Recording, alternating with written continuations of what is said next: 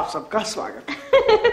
हँसते हँसते कट जाए रस्ते जब जीवन की शाम ढले। जीवन की शाम ढले छोड़ो यौवन की इस भरी दोपहर की बात करो और तुम ये आँखें मटका मटका कर मेरी तरफ़ देख देख के कहना क्या चाहती हो? मैं क्या तुम्हें ढलती हुई शाम नज़र आता हूँ? अरे जो सच है वही कह रही हूँ। लेकिन मुस्कुराने से चेहरे की रौनक बढ़ती है। अब बढ़ती उम्र में तुम्हें मुस्कुराना चाहिए। हाँ हाँ हाँ बढ़ती उम्र में कौन कौन से टॉनिक लेना चाहिए और कितनी मात्रा में लेना चाहिए ये सब आपको तो अच्छी तरह से पता है तो बताइए ना। अरे अपनी नोकझोंक में स्वागत का मज़ा क्यों किरकिरा कर रहे हो? अरे हाँ आज हम परोसने जा रहे हैं कुछ शिक्षण प्रशिक्षण की बातें। है शिक्षण पर शिक्षण अरे एक शिक्षण काफ़ी नहीं है क्या? अरे शिक्षण पर शिक्षण नहीं शिक्षण प्रशिक्षण मतलब ट्रेनिंग। ओ तो ट्रेनिंग बोलना? हाँ। शिक्षण की बात तो मेरी समझ में आती है पर कुछ चीज़ें ऐसी होती हैं जिनमें ट्रेनिंग की ज़रूरत नहीं होती। अब देखना वो हमारी मान सम्मान देने की परंपरा है ना दूसरों को इज़्ज़त देने की। अब मेरे पिताजी के एक दोस्त है हमारे घर पर मेहमान बनकर आए हैं लेकिन हिलने का नाम ही नहीं ले रहे जमकर बैठ गए पिताजी ने उनसे कहा भाई आपने दशहरा भी यही मनाया दिवाली भी यही मनाई। अब होली तो अपने घर जाकर मना लीजिए। बड़ी बेतकल्लुफी से बोले तुम्हारी भाभी और बच्चे भी यही आ जाएँगे। खूब रंग जमेगा। पर वो तुम्हारे घर आए कैसे? तुम्ही ने बुलाया होगा। अरे नहीं उनका बेटा तकनीकी ट्रेनिंग लेने के लिए आया एक साल की। वो हॉस्टल में है उन्होंने हमारे घर को हॉस्टल समझ लिया। एक बात बता अंगूठा। हाँ? ये तकनीकी ट्रेनिंग क्या होती है? और वो छह महीने पर प्रशिक्षण फिर सर्टिफिकेट भी देते हैं। ऐसी ट्रेनिंग होती है क्या? वो क्या कह रहे थे? पर एक्टिकल। अरे पर एक्टिकल नहीं प्रैक्टिकल। इसका मतलब है औज़ार पुर्जों सर्किट वगैरह वगैरह की जानकारी के लिए पाठ्यक्रम। और ये छात्रों को सिखाते हैं। जब ये छात्र पूरी तरह तैयार हो जाते हैं और सीख जाते हैं तब उनको सर्टिफिकेट यानी कि प्रमाण पत्र दिया जाता है। तो रेडियो टीवी ठीक करने की भी ट्रेनिंग होती होगी। हाँ। अच्छा अच्छा। तभी मैं हैरान थी। अरे पहेलियाँ क्यों बुझा रही है? तभी मैं हैरान थी। अरे पीछे हमारे गाँव में टीवी का मज़ेदार एक नया तमाशा हुआ। अच्छा? चल चल। हाँ। दिखाओ तुझे। हाँ, दिखा दिखा दिखा। ठीक हुआ क्या? अरे नहीं! तस्वीर नहीं आ रही है। ढंग से घुमा यार। अच्छी तरह से हाँ। अरे कहाँ तक घुमाऊं? अरे नहीं आ रही है यार आती है चली जाती है आती चली जाती है। अरे छापड़ मारने से आ रही है। अरे बताया तो यार आती है चली जाती है आती है चली जाती है यही सब हो रहा है बस हाँ नहीं तो। और तुम ऊपर टंगे कर क्या रहे हो इतनी देर से जरा ढंग से घुमाओ यार प्रोग्राम शुरू होने वाला है हाँ नहीं तो। अरे चारों तरफ़ घुमा डाला अब क्या तोड़ डालू? तुम्हारे बस का कुछ नहीं है। इतनी देर से ऊपर टंगे हो, पता नहीं क्या कर रहे हो। हाँ तू ही आगे देख ले। एक तो प्रोग्राम शुरू होने वाला है ऊपर से अंधेरा भी होने वाला है। हाँ, आजा लगन है? हाँ। अरे बात सुन। हाँ। देख मेरी बात सुन। मैं धीरे धीरे उसको घुमाऊँगा ठीक है? और जैसी फ़ोटो आए तो उसमें झापड़ मार देना। वो किस लिए? अरे भैया अगर फ़ोटो कोई अटकी होगी तो भट्ट से बाहर आ जाएगी। ठीक है ठीक। चल चल चल चल चल। प्रोग्राम होने वाला शुरू अंधेरा भी होने वाला जल्दी कर।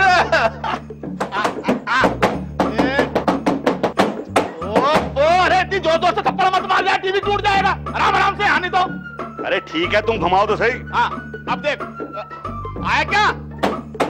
मैं कुछ बोल तो सही। अरे आएगा तो बता नहीं दूँगा।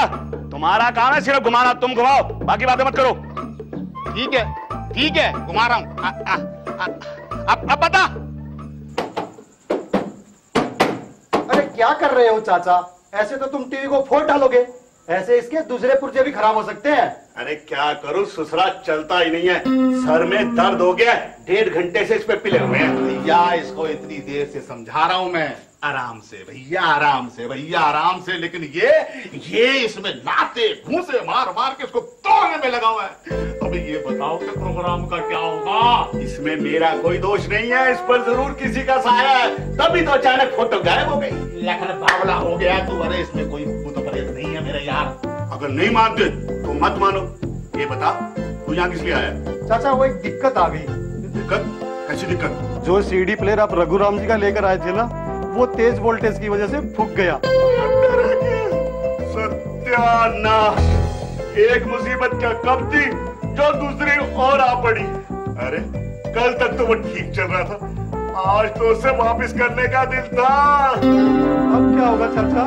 मैं तो पहले ही कह रहा था, पूरे गाँव के ऊपर किसी का साया है, पूजा पाठ करवानी पड़ेगी। लेकिन मेरी बात किसी ने ना सुनी।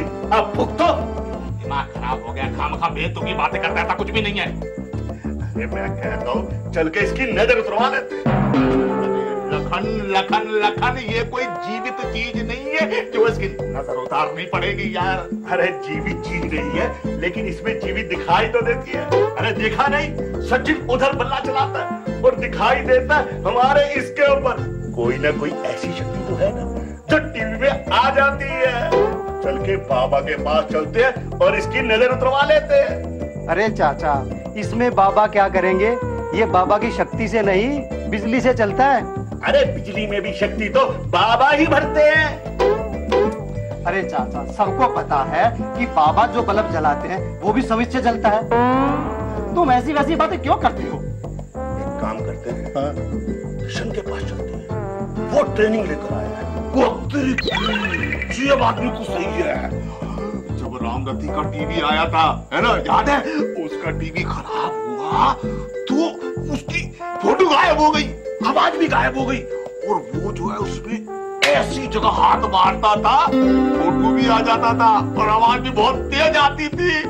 टीवी की तबीयत एक मिनट में ठीक हो जाती थी। वो जो है ना किसना वो इसकी नमज पहचानता वो ठीक कर देगा, सच्ची। कैसी बातें कर रहे हो, चाचा? किसना तो ढीले पुर्जे करके खोल खाल के रख देता है। फिर पैसे माँगता चार सौ रूपए। आपको याद नहीं, अपने कृपालू जी के टीवी का क्या हाल किया था उसने? अरे वो तो बेचारा खुला खुलाया अपने घर ले गया और जोड़ तोड़ के चलाता रहता है। अब क्या होगा? किससे टीवी ठीक कराएँगे? क्या हुआ? कैसे मजमा लगा रखा है भाई? किस बात पर विचार हो रहा है? अरे टीवी खराब हो गया। टीवी? अरे मेरे प्रोग्राम का क्या होगा? अरे मनोहर भैया ये टीवी खराब हो गया है। समझ में नहीं आता क्या करे? प्रोग्राम देखना था। तुम भी तो शहर जाकर कुछ सीख कर आए हो ना? हाँ हाँ सीखा है। भैया देखो हम तो ये सोच रहे थे कि अपने टीवी को किसना के पास ले जाएँ? अरे चाचा किसना बिचना के पास जाने की ज़रूरत नहीं है। हाँ अगर अपने टीवी का हुलिया बिगड़वाना है तो बेशक शौक से चले जाओ। मनोहर भैया इन्हें मैं पहले कह चुका हूँ किसना के बारे में तो। अरे चाचा अब कहीं जाने की ज़रूरत नहीं है। सारा हुनर यहीं पर आ गया है। कैसे? मैं कंप्यूटर से लेकर हर इलेक्ट्रॉनिक आइटम ठीक कर सकता हूँ। और आपका टीवी भी ठीक कर दूँगा अरे भैया जल्दी आजा आजा आजा इधर इधर अरे हट ना इधर को आ भैया जा इधर ये मुझे तो करना डब्बा मुझे अरे मदद कर भाई। अरे ये है भैया। अपना प्रोग्राम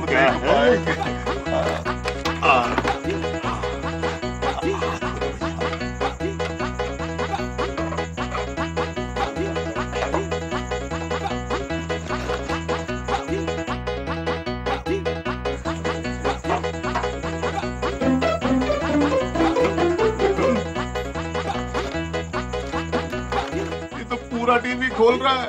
अरे अब अपना प्रोग्राम कैसे देखेंगे भाई?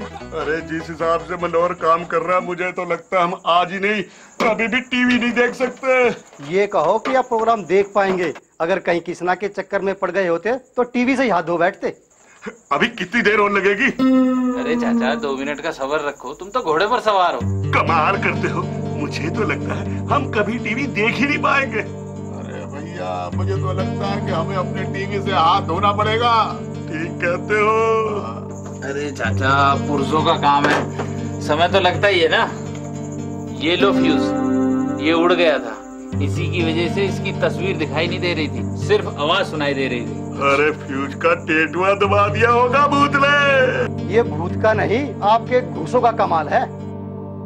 मनोहर भैया ये मनोहर भैया तुम्हें कैसे पता लगा कि इसका ये फ्यूज खराब हो गया है? अरे चाचा मैंने हर प्रकार के इलेक्ट्रॉनिक इक्विपमेंट को ठीक करने की ट्रेनिंग ली है। अच्छा शहर से होशियार होके आया है बहुत है। अच्छा अरे टीवी कब ठीक होगा भैया? भैया क्या था भैया? हो जाएगा ना ठीक? लो चाचा। हमारा टीवी ठीक हो गया हो गया ठीक हो गया अरे घुमा देख ले अरे घुमा अरे चेक करते हैं यार आजा आजा आजा भाई आजा भैया आजा बैठो बैठो बैठो बैठो बैठो भैया रुक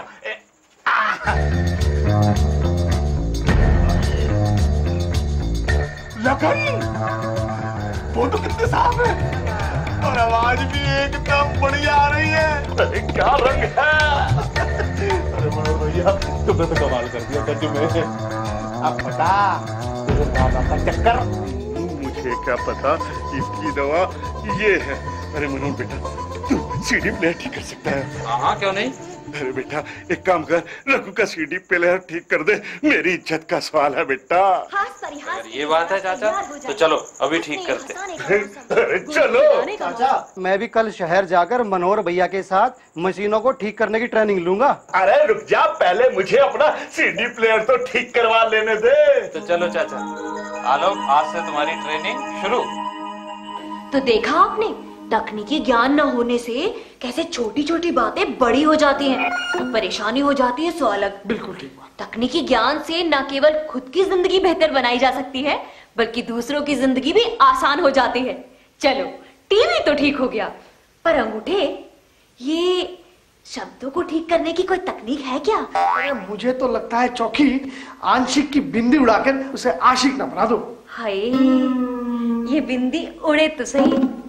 सच कहूँ मेरे लिए जो वो वो चुने हैं ना वो तकनीकी प्रशिक्षण लेकर अपना काम शुरू करना चाहते हैं। अब मुझे तो कुछ पता नहीं लेकिन मेरे पिताजी उन्हें तकनीकी प्रशिक्षण की सारी योजनाएँ बता रहे हैं। ए ये योजनाएँ होती भी हैं या पिताजी उन्हें सिर्फ़ बना ही रहे हैं? अरे ना ना ना ना ना तुम इसकी चिंता मत करो। इसके बारे में जानकारी देंगे हमारे आज के विशेषज्ञ। भारतवर्ष में इतनी उन्नति हुई है और हर शहर में, जहाँ तक कि अब गाँव में भी शुरू हो गया है, कि एम्प्लॉयमेंट अपॉर्चुनिटीज़ की कमी नहीं है। पहले तो सरकार के ही अपने बहुत कार्यक्रम है, जो सरकार ने अपना एन नेशनल एम्प्लॉयमेंट प्रोग्राम चलाया है, उसमें ही बहुत लोगों की आवश्यकता है। लेकिन जब उसको तकनीकी शिक्षा मिल जाती है, जब उसमें गुण हो जाता है तब उसका लिविंग स्टैंडर्ड इंप्रूव कर जाता है। एक तो उसमें एक कॉन्फिडेंस आ जाती है, जो कि अब सेल्फ कॉन्फिडेंस आ गई। फिर उसका लिविंग स्टैंडर्ड बढ़ गया, उसका एक्सपोजर बढ़ गया। उसको ये पता है कि कहाँ मार्केट है, कहाँ चीज़ है, कहाँ से हम उन्नति कर सकते हैं। उसका दूसरों लोगों से इंटरेक्शन हो गया। वो हम ये कहेंगे कि वो देश के मेन स्ट्रीम में आ जाता है, जब वो एक बार उसको ये सारे गुण आ जाते हैं। तो वो जो उसको एक्सपोजर मिलता है अपने तकनीकी प्रशिक्षण के बाद और अपने वो नए रोज़गार के साथ बाहर जाने में, उसका उपयोग वो पूरे गाँव के विकास के लिए हर तरह से होता है। हमारे कार्यक्रम में बेनिफिशरीज जो है, उनको कुछ भी खर्चा नहीं करना पड़ता है। जो ऋण चाहिए आदमी को अपना सेटअप करने के लिए तो हम ये सहूलियत करा देते हैं कि उनको बैंक से भी ऋण मिल जाए। और और जो भी उन्हें सहूलियत चाहिए वो हमारी जो स्वयंसेवी संस्था उन एरिया में काम करती है वो सहूलियत कपाट का बहुत ज़ोर है ग्रामीण तकनीकी पे। इनमें ऊर्जा लेकर है गैसफायर है। इनमें बायोमास है जो कि एनर्जी के लिए भी यूज़ हो सकती है और खाने के लिए भी यूज़ हो सकती है। खाना बनाने का स्टोव है। एनर्जी सेविंग स्टोव है। फिर इसमें फ्लोराइड फिल्टर्स हैं। जिसमें कई क्षेत्रों में फ्लोराइड बहुत है पानी में और उस वजह से लोगों के हाथ पैर में प्रॉब्लम आ रही है। बेसिक बहुत बड़ा हेल्थ हजार्ड है वो है तो ये सब प्रोग्राम प्लस इसमें एक बिल्डिंग टेक्नोलॉजी भी है जिसको कि हम बोलते हैं कि मड ब्रिक्स तो ये टेक्नोलॉजीज़ है। ये तो एक चीज़ हुई। तो इन चीज़ों को हम आगे बढ़ा रहे दूसरी चीज़ जो हमने ग्रामीण तकनीकी को आगे बढ़ाने के लिए हमने कपाट में एक अपनी संस्था शुरू की। अब गरीबी उत्थान और रूरल तकनीकी। ये हमने संस्था खोली इस संस्था में हम लोगों को ट्रेनिंग देंगे इसमें हम रिसर्च करेंगे इसमें हम वर्कशॉप्स कर रहे हैं। एक हमने बहुत बड़ी लाइब्रेरी इसमें खोली है डिजिटल लाइब्रेरी भी है और नॉर्मल लाइब्रेरी भी है जिसकी की मेंबरशिप हम आम जनता को भी दे रहे हैं और अपनी संस्थाओं को भी दे रहे हैं। तो आगे का प्रोग्राम में हमने ये माना है कि तकनीक का विशेष प्रयोग करके हम गरीबी हटाने के प्रोग्राम को फास्ट ट्रैक में यानी कि बहुत तेज रफ्तार से ले जाए इस ओर जो भी कदम बढ़ाएगा सच्ची मेहनत और लगन से जुटेगा सफलता उसकी कदम चुमेगी। ये मेरी बात गौर से सुन लो। हाँ, अंगूठे। हाँ। बात गौर से सुनने का एक वक्त होता है। एक बार बादशाह अकबर ने बीरबल से हाँ, कहा हाँ। जाओ हमारे राज्य से चार मूर्ख ढूंढ कर लाओ। शुक्र है उस वक्त तुम नहीं थी। अरे बीरबल ने सिर्फ़ दो दिन का समय मांगा अच्छा। और फिर दो व्यक्ति को पकड़ लाए। अच्छा। उनमें से एक को खड़ा करके बोले ये पहला मूर्ख है। इसकी पत्नी किसी और के साथ भाग गई। उसके यहाँ बेटा हुआ है और ये अपने घर का आधा सामान बेचकर उसके लिए चांदी की थाली और कपड़े लेकर जा रहा है। और दूसरा? दूसरा? दूसरा ये मूर्ख है। इसकी घोड़ी को बच्चा होने वाला है। ये सर पर भारी गट्ठर लादे हुए उसके ऊपर बैठा था। और तीसरा? तीसरे आप? मैंने नहीं बीरबल ने बादशाह अकबर से कहा। जिन्हें ऐसे लोगों को देखने की इच्छा थी। और चौथा? चौथा मैं अम, मैं माने बीरबल जो ऐसे लोगों को ढूंढ कर लाया। वाह वाह वाह क्या परिभाषा दी है। तुम्हारी तकनीक का तो जवाब नहीं है लेकिन ये तकनीकी प्रशिक्षण कोई और चीज़ होती है। इस विषय पर राष्ट्रीय साक्षरता मिशन द्वारा संचालित जन शिक्षण संस्थान एक अहम भूमिका निभा रहे हैं। तो आइए हम भी इसे देखते हैं। आज रोज़मर्रा की ज़िंदगी में तकनीकी शिक्षा का महत्व बढ़ता जा रहा है और इस महत्ता को अंजाम दिया राष्ट्रीय साक्षरता मिशन द्वारा चलाए जा रहे जन शिक्षण संस्थानों ने। जन शिक्षण संस्थान अन्य विधाओं के साथ साथ तकनीकी शिक्षा भी उपलब्ध करा रहे हैं। यहाँ पर विभिन्न प्रकार के इलेक्ट्रॉनिक उपकरणों इत्यादि के रखरखाव और मरम्मत की ट्रेनिंग दी जाती है। सबसे महत्वपूर्ण बात यह है कि इन संस्थानों में नामांकन के लिए न्यूनतम योग्यता का बंधन नहीं है। बस शिक्षार्थी का चयनित विषय की ओर रुझान होना ज़रूरी है। लेकिन जो सतत शिक्षा केंद्रों से आते हैं, उन्हें प्राथमिकता दी जाती है। आज अक्षर ज्ञान के साथ तकनीकी शिक्षा की बहुत ज़रूरत है। ये शिक्षा स्वरोजगार के अवसर बढ़ाती है और इसमें प्रमुखतः युवा वर्ग बढ़ चढ़कर हिस्सा ले रहा है। मोबाइल फ़ोन आज हर व्यक्ति की आम ज़रूरत बन चुका है और इस ज़रूरत ने एक नए व्यवसाय को जन्म दिया है, मोबाइल रिपेयरिंग। यह मोबाइल सर्किट्स की जटिलताओं को सुलझाने की ट्रेनिंग दी जाती है। इसके लिए संस्थान द्वारा सभी सुविधाएँ उपलब्ध कराई गई हैं, जैसे प्रयोगशालाएँ, अनुभवी शिक्षक इत्यादि, जो कि इन्हें बेहतर से बेहतर आधारभूत शिक्षा प्रदान करते हैं। मोबाइल रिपेयरिंग के साथ यहाँ बिजली के उपकरणों की मरम्मत की शिक्षा दी जाती है। फिर वो बिजली का मीटर हो या स्विच। पंखे की मोटर वाइंडिंग से एयर कंडीशनर की मोटर वाइंडिंग इन सब के साथ वाहनों के कलपुर्जों के बारे में समझाने तथा उनको सुधारने का काम सिखाया जाता है। चाहे वो इलेक्ट्रिकल समस्या हो या गियर बॉक्स की, क्लच की समस्या हो या फिर कार्बोरेटर की। तकनीकी शिक्षा असमर्थ एवं वंचित वर्गों के पास पहुँचे, इसके लिए जन शिक्षण संस्थान लगातार कार्यरत हैं। जैसे जैसे युवा वर्ग तकनीकी शिक्षा के महत्व को समझ रहे हैं वैसे वैसे नए रास्ते खुलते जा रहे हैं। बहुत बड़ी संख्या में लोग आगे आकर इन संस्थानों द्वारा चलाए जा रहे कार्यक्रमों का लाभ उठाकर अपने आप को आर्थिक रूप से सक्षम बनाने में लगे हैं। निश्चित रूप से ये संस्थान बेरोजगारी की समस्या से छुटकारा दिलाने में मील का पत्थर साबित हो रहे हैं। इससे व्यक्तित्व में निखार आएगा, स्वावलंबन को गति मिलेगी और आर्थिक रूप से पिछड़े लोगों को सही दिशा भी मिलेगी। हाथों को हुनर दीजिए और तरक्की कीजिए। यही तो है जन शिक्षण संस्थान का नारा।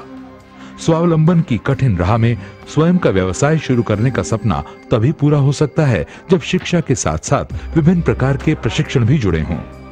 आर्थिक चुनौतियों से जूझने और दैनिक जीवन की समस्याएँ सुलझाने के लिए तकनीकी शिक्षा ने नई दिशा दी है, जिससे जीवन शैली में उल्लेखनीय बदलाव आ गया है। आर्थिक सहायता देने के लिए सरकारी योजनाएँ बहुत हैं। राष्ट्रीय साक्षरता मिशन के प्रयासों से राष्ट्र के विकास को भी गति मिल रही है। यही प्रशिक्षण आधार है व्यक्ति को समर्थ सशक्त बनाकर उसमें आत्मविश्वास जगाकर आत्मनिर्भर बनाने का। तकनीकी प्रशिक्षण राष्ट्र के विकास के पहिए को गति देने की सार्थक तकनीक भी सिद्ध हो रहे हैं। तकनीकी शिक्षा के प्रचार प्रसार से हमारे देश के युवा वर्गों में एक नई शक्ति का संचार हुआ है। हाँ और तकनीकी शिक्षा देती है आत्मविश्वास। हाँ। और सरकार देती है आर्थिक मदद। बिल्कुल रोज़गार गारंटी योजनाएँ स्वरोजगार का रास्ता खोलती हैं। हाँ और अगर सिर्फ़ ज़रूरत है तो जानकारी की और सूझबूझ की। अरे वाह ये तो बड़ी अकल का काम किया तुमने। अरे हाँ अकल की बात पर याद आया। एक पति ने अपनी पत्नी से कहा भगवान ने स्त्रियों को बहुत ही सुंदर बनाया है मगर साथ ही साथ मूर्ख भी बनाया है। तो पत्नी बोली वो इसलिए ताकि वो एक दूसरे को समझ सके। हाँ समझ समझ का ही तो फेर है। एक बार एक बच्चे ने मम्मी से बोला कि मम्मी मम्मी मेरे क्लास टीचर बता रही थी कि जिनके माता पिता मूर्ख होते हैं उनके बच्चे बड़े बुद्धिमान होते हैं। तो मैंने कहा हाँ टीचर मैं तो हमेशा बुद्धिमान रहूँगा। टीचर ने पूछा क्यों? तो मैंने बोला कि जब भी मेरी मम्मी पापा पे चिल्लाती है तो अक्सर कहती है कैसे मूर्ख से पाला पड़ा है? उसने तो सारी पोल खोल दी। मगर उल्टा भी तो हो सकता है। अरे कोई ऐसी तकनीक बता कि मूर्खता से छुटकारा मिल जाए। और लोग हमें अकलमंद कहना शुरू कर दे। मेरा मतलब है अकलमंद समझना शुरू कर दें। अरे अकलमंद तो तब समझना शुरू करे जब हम में कुछ सीखने की चाह हो। और कुछ सीख के हम खुद अपना कोई काम कर सके। है? हाँ। अपना काम शुरू कर दें? हाँ। तो आइए मिलते हैं जय किशन से। वही जय किशन हाँ। जिसने अपनी ज़िंदगी की जंग अपने बलबूते पर लड़ी हाँ। और सफलता भी हासिल की। हाँ। तो आइए देखते हैं। आइए। मेरी कहानी असल में यहाँ से शुरू नहीं होती है। दसवीं करने के बाद मेरी घर की स्त्री परिस्थितियाँ ने मेरे ऊपर ज़ोर डाला कि मुझे कुछ अपना काम करना चाहिए। तो उसके बाद मैंने मार्केटिंग करना शुरू किया, कंप्यूटर की मार्केटिंग, जिसमें स्कैनर वगैरह शामिल थे, स्कैनर, फ्लॉपीज वगैरह, इस तरह की कई चीज़ें शामिल थी। लेकिन काम करने के बाद मुझे महसूस हुआ कि असल में ये मेरी मंजिल नहीं है और मैं सही रास्ते की ओर नहीं जा रहा हूँ। मैं अपने उद्देश्य से कुछ भटका हुआ हूँ। तभी मुझे इस परेशानी के टाइम में मुझे एक मित्र ने बताया कि श्रमिक विद्यापीठ, जो कि इलेक्ट्रॉनिक्स का कोर्स कराती है, उसमें अगर मैं इलेक्ट्रॉनिक्स का कोर्स करूँ तो मुझे मंजिल मिल सकती है। तो 98 में मैंने श्रमिक विद्यापीठ के साथ इलेक्ट्रॉनिक्स कोर्स किया, जो कि आज के ज़माने में जन शिक्षण संस्थान के नाम से मशहूर है। इसमें मैंने दो साल का इलेक्ट्रॉनिक्स कोर्स किया और साथ ही मैंने नेशनल ओपन स्कूल से बारहवीं भी की। और अब मेरे हाथ में हुनर भी था और एजुकेशन भी थी। तो मेरे लिए रास्ते खुलते गए और मंजिलें मिलती गई। उसके बाद मैंने मल्टीलेट टेक्नोलॉजीज़ के साथ कस्टमर सपोर्ट इंजीनियर की पोस्ट पे काम किया।